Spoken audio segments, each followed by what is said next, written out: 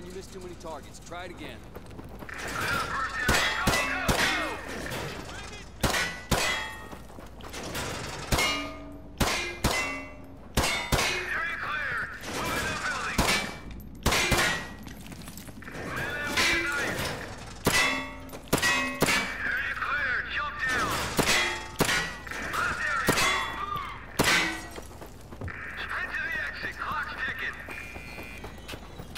Amazing work, dude.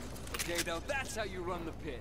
Okay, head upstairs and regroup with your team, or you can go back in and run the course again.